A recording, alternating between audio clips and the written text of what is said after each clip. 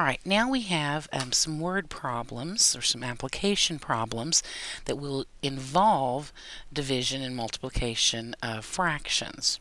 So our first one says veterinarian Jasmine Cato has 8 ninths quart of medication. She wishes to prescribe this medication for four cats in her pet hospital. If she divides the medication evenly, how much will each cat receive? Okay, well we need to think about what's going on here before we start doing anything. We she's got so much medication and she has to divide that amongst four cats.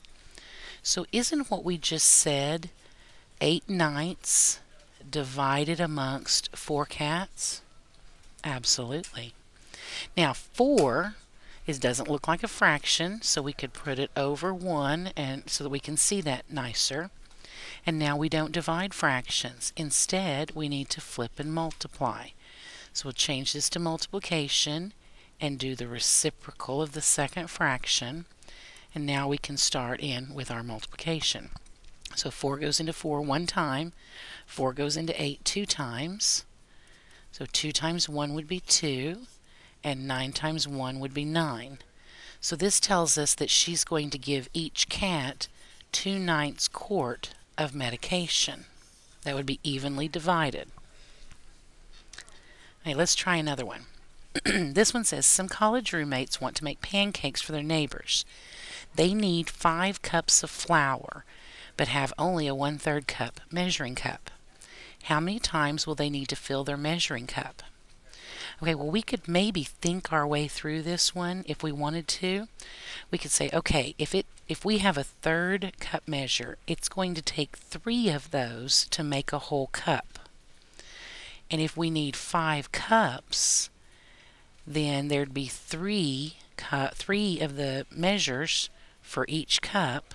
Five cups, we should get 15 cups of uh, 15 of these uh, times they'll have to fill the measuring cup. Or we could use our multiplication division rules. They're needing to find out how many of these one thirds are in 5. So they really need to find out what is 5 divided by one third. How many groups of one third are there in five? Remember our previous discussion about division and it being really breaking things up into groups? But we don't divide, do we? Instead, we flip and multiply. So I'm going to rewrite 5 as 5 over 1, change it to a multiplication, and then flip the second fraction. So times 3 over 1. 5 times 3 would be 15. 1 times 1 would be 1. And 15 divided by 1 is 15.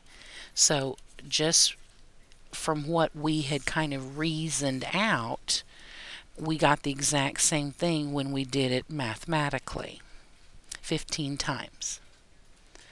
All right, the last one here says the recipe for a Jelly Belly Express loaf cake calls for 3 fourths pound of Jelly Belly jelly beans in assorted colors.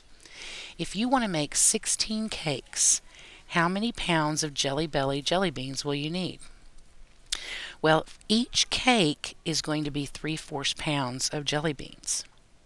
And if I want to make 16 of those, isn't that like adding 3 fourths to itself 16 times? That's like a repeated addition problem. This one is actually a multiplication problem. We have 3 fourths of a pound for each cake, and we want to do that 16 times. So I'm going to write 16 over 1 and now we can do our simplification. 4 goes into 4 one time, 4 goes into 16 four times. So 3 times 4 would be 12, and 1 times 1 would be 1, and 12 divided by 1 would be 12.